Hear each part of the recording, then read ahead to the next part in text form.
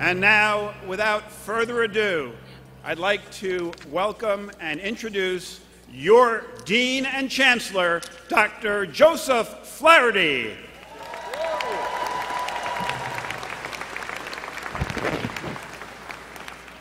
Good morning. Hold it. Good morning, doctors.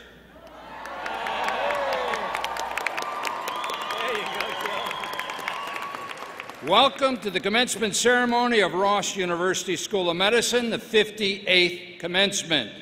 Please be seated. On behalf of the School of Medicine and the Board of Trustees, I welcome you. Today is all about you, the graduates. There are over 500 of you here today representing 46 states, nine Canadian provinces, among you are citizens of 45 countries the, other than the United States. At the end of today's proceedings, you will join more than 10,000 physicians, and I think we'll have the 11,002 uh, graduated today. I'd first, before I speak, like to acknowledge those of you who are joining us on live broadcast on the internet. We're thrilled to share this day with you. Again, congratulations. This is a great day and an honor for you and for us. I want to welcome members of my cabinet and administration. We're pleased to see the faculty that helped get you through it here in attendance, but mostly, as I said, it's about you. To paraphrase a former president, to those of you that are receiving highest honors and high honors and awards, I say, job well done.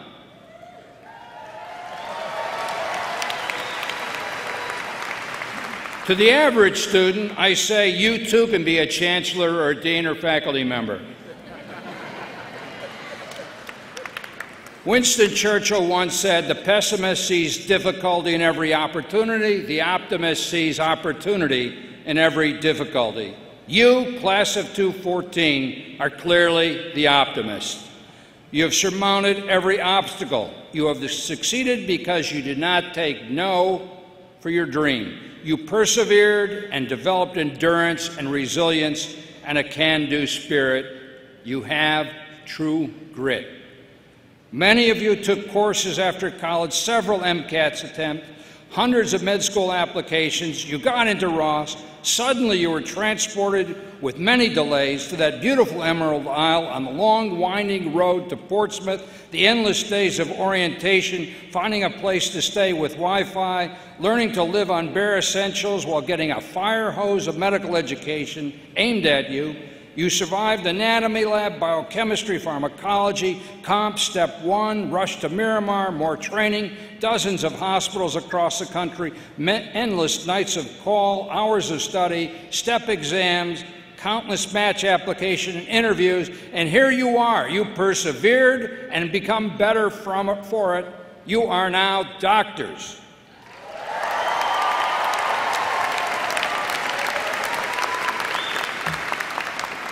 And with this resilience and perseverance and grit, seeing opportunity and taking it, this is what it means to be a Ross graduate. So I say, carpe diem, seize the moment, seize the day.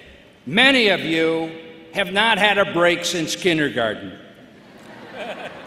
Many of you have destined your whole life around this point in time Take a moment to savor the moment.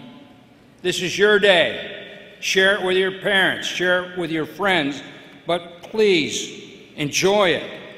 I ask you to look around also to your classmates that you've been with for so long and see the great diversity that is the Ross University School of Medicine. The nights you've spent working with each other, learning about each other, you are naturals for doctors of the world community. Yours is a generation that will move beyond the old us versus them and onto we. We have, many have displayed in medicine or talked about in medicine, or you read in the papers, that medicine is a difficult profession. Some of you have been cautioned, even by your parents. There's all these insurance forms and complicated things and medical malpractice. I wouldn't listen to the naysayers. Medicine is as great today as it was 100 years ago when I graduated. Let me tell you why. It is a single best combination of science and practicing humanity. We're in a new golden era of medicine with great new treatments developed by the genome and pharmacology and many options, things that you can actually use in the care of cancer and heart disease and stroke. The practice of medicine is also moving from the individual solo practice to large groups. There's a good caveat in that. You may be able to have a life, one of the first generations of physicians to do so. I encourage you to do it. Find out who you are, what you like, what you want to do. Find people you love to share it with and enjoy it because you have that opportunity. You're given the privilege and an honor, as you were a 100 years ago, to enter into the intimate life of a patient, to have them tell you their hopes, their fears, their concerns, things that they might tell no other person in their life. It is a great honor, it's a great privilege, enjoy it. Now, finally, I've reached the age where I think I can give a few words of wisdom. And they're not that wise, but it's still, I'm going to offer them. Um, I always thought that was something for older people to be able to do. Now I realize I'm one of those older people. Uh, I ought to know something. Just to start, because I know all of you are very tech savvy millennials. So I give you one word of caution. You need to know that Siri cannot do a blood draw for you at 3 a.m. You cannot tweet your way to good patient care, and there is no app for finding a good life work balance. Second, take ownership of your life. Now is the time. Yes, you're going to follow the rules of the training program you're in, but you can also start thinking what you want with your life. Third, practice humility. Do never be afraid to ask for help. Never be afraid to say, I don't know. Never be afraid to say, I'm sorry when you've done something wrong. It is something that has been widely received by patients. Practice acceptance. The first thing you'll have to accept I hate to tell you this after all the years of training, but when you go into a hospital, the nurses know more than you do. They're your friend. You want to get a little sleep at night, be their friend.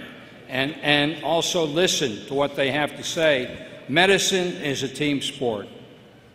Practice lifelong learning. After you see patients, during the day, you're going to have to go home and read about them at night.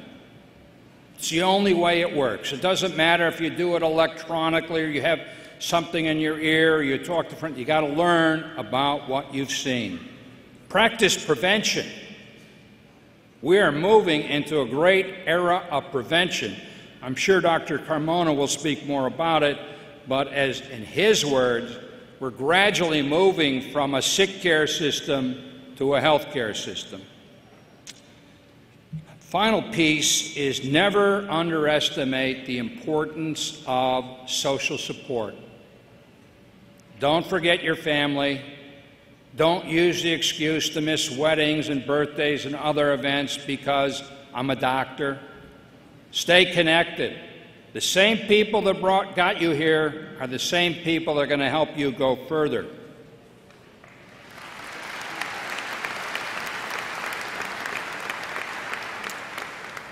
To quote the artist Gary Boulding in a graduation address some years ago, your families are extremely proud of you.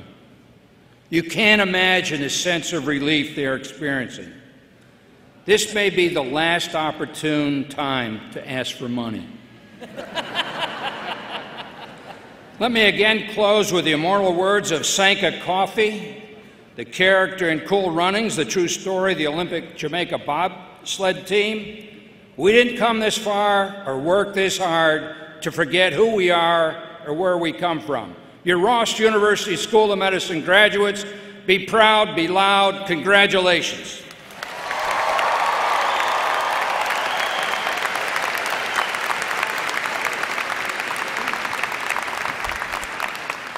It is my pleasure now to introduce our guest speaker, Richard Carmona, MD, MPH, Fellow of the American College of Surgeons, served as Surgeon General of the United States from 2002 to 2006.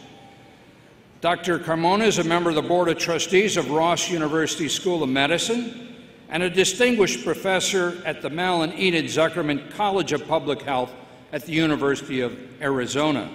Dr. Carmona has worked in various positions in the medical field, including paramedic, registered nurse, and physician. Once a high school dropout and a youth who suffered homelessness and hunger, Dr. Carmona enlisted in the U.S. Army and became a combat decorated Special Forces Vietnam veteran. He went on to earn his BS and MD with highest honors at the University of California, San Francisco. Trained in general and vascular surgery, Dr. Carmona completed a National Institutes of Health sponsored fellowship in trauma, burns, and critical care.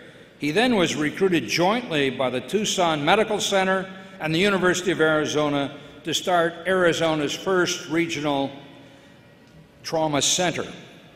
After his tenure as Surgeon General, he returned to the University of Arizona as a first distinguished professor of public health and a professor of surgery and pharmacy practice. He is a recipient of numerous military, police, and academic awards and decoration. I am pleased and humbled to introduce to you Dr. Richard Carmona and in invite him to the podium. Dr. Carmona. That's a wonderful presentation. Thank you. Good morning, Joe. Thank you for the nice introduction, but I, I always feel a lot like uh, Ricky used to say to Lucy, you got a lot of splaining to do. It doesn't, uh, it doesn't engender a lot of confidence in our students and faculty when they hear their Surgeon General is a high school dropout. but it, it does say how great our nation is and all of the opportunities that we all have. So, Dean Flaherty, academic leaders, and faculty, thank you for the invitation to be with you and participate in this joyous occasion. To the students, I am extremely grateful for the privilege and opportunity to provide your remarks.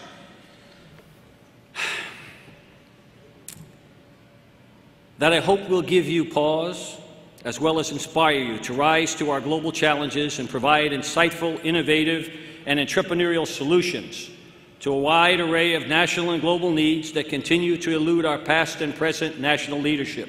And of course, I would be remiss if I did not thank and congratulate all the moms, dads, families, and significant others who have made this day possible for all of our students. I am thrilled today to speak to you about a Surgeon General's perspective of global threats and exceptional opportunities and what this means to each and every one of you. As Surgeon General, you have a unique vantage point. You sit at the seat at a table as history is being made, for better or worse. A seat that only 16 United States Surgeon Generals occupied before me in the entire history of our nation. The statutory job description of the Surgeon General of the United States is to protect, promote, and advance the health, safety, and security of the United States. On paper, a very simple, straightforward description. In reality, a perpetually embattled position in an increasingly partisan battlefield. For the Surgeon General is not the Surgeon General of the Democratic or Republican parties. The Surgeon General has a much more important job. The Surgeon General is the doctor of the people of our great nation, whose words and advice are guided by the best science available and not partisan rhetoric. Think about the partisan battles that you've all heard about around stem cells, abortion, Plan B, terrorism, weapons of mass destruction, and national and global preparedness. These are scientific and not political issues to a Surgeon General. Due to the aforementioned and so much more, Surgeon Generals are known to age in dog years while in office. There is no formal or special preparation available to ascend to the position of Surgeon General of the United States. However, my greatest asset was probably being very naive and believing I could change the world, stamp out disease, famine, pestilence, and social injustice, and do so much more. More or less like each and every one of you feel today as you leave with your diplomas and being designated as, as physicians. In fact, in one of my very early mentorship meetings with my predecessor surgeons general, I had been reviewing national statistics of disease and economic burden. I expressed my concern to them about the troubling and increasingly poor U.S. health metrics and cost of care. I jokingly said to all the surgeon generals present, What did you guys do during your tenures? Why did you leave it all for me? Surgeon General Koop piped up and said, Son, you'll understand soon. And he was so correct.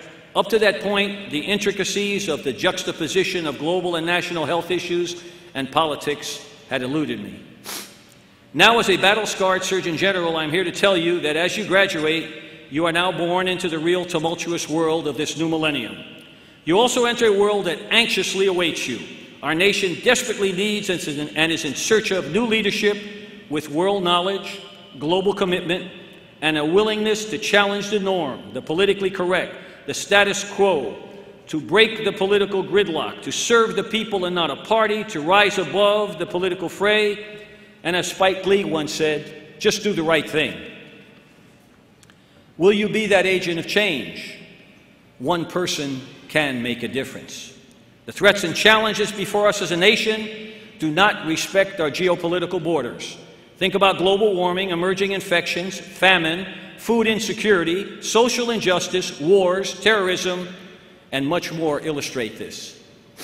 As with global health, terrorism also has inextricable links to the social determinants of health, and therefore there is an opportunity for us to be involved in mitigating or preventing terrorism.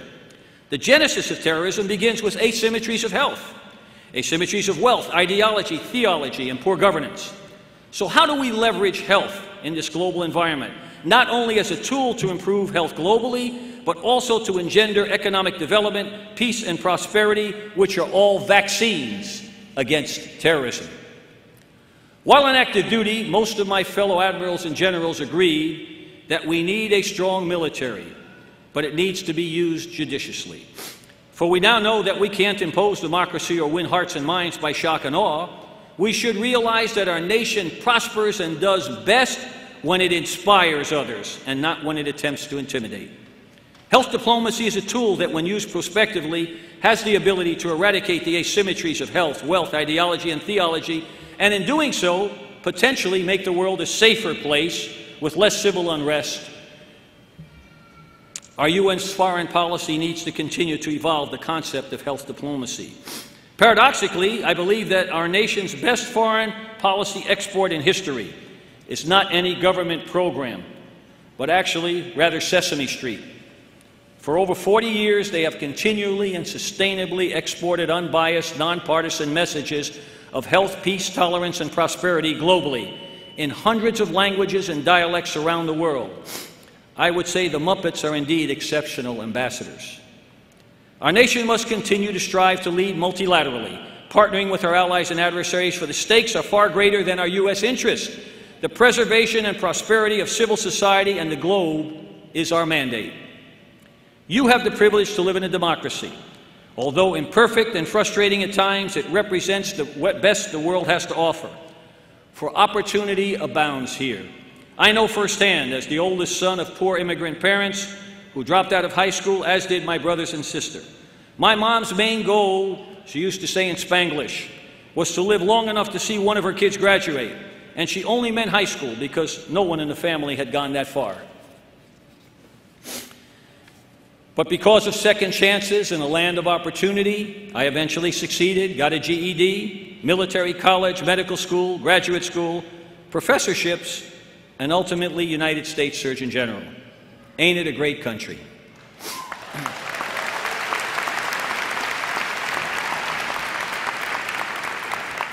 Our nation has been at war for over a decade in two major theaters globally, all within a world of shifting alliances, often driven by ideological, theological, or economic motivations. Look out at the world today, not just your community or our country, for your neighborhood now is the world.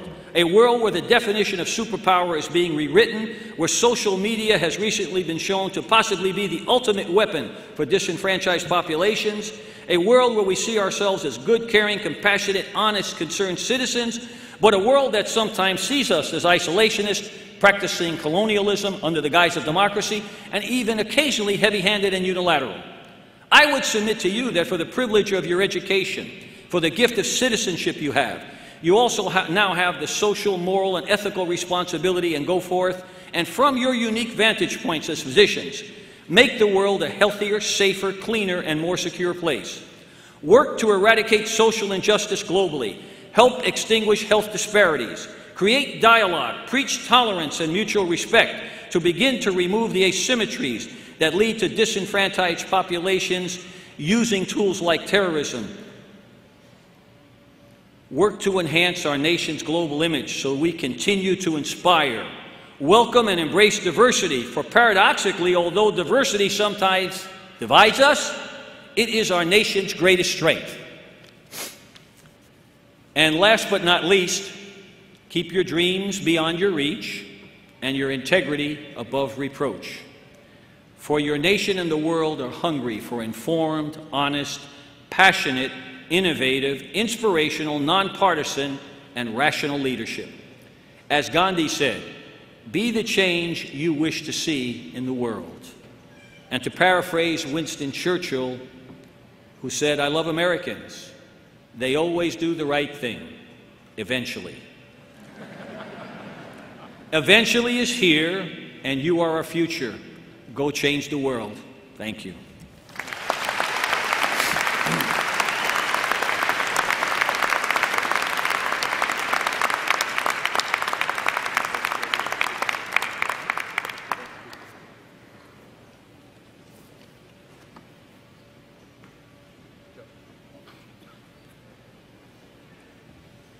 Thank you, Dr. Carmona. Uh, we will now bestow degrees earned by the students of Ross University School of Medicine as recommended by the faculty to the Board of Trustees. Board members, I certify to you that each candidate presented, the official graduation list, has completed all the requirements for the degree of Doctor of Medicine Therefore, in accordance with the will of the Board of Trustees, we are honored to bestow upon these graduates the degree of Doctor of Medicine. The candidates will now receive a diploma signifying the degree and all the dignitaries' rights, privileges, and protections belonging to it. As the candidates come on stage, they will be hooded by Dr. Dobby, Weaver, Sharma, and Lavani. Each candidate will then be hand their seating card to Dr. Wales or Fernandez, and their names will be announced by Drs. Wales or Fernandez. Then, one at a time, each student will cross the stage to receive his or her degree from myself. I will offer a congratulatory handshake, at which time a ph photograph will be taken. I will then congratulate each student as they walk off the stage. Boy, they got this really tracked down exactly uh, right hand, left hand. Okay. Let me keep with the script. Members of the 58th graduating class of Ross University School of Medicine, the hooding ceremony will now begin.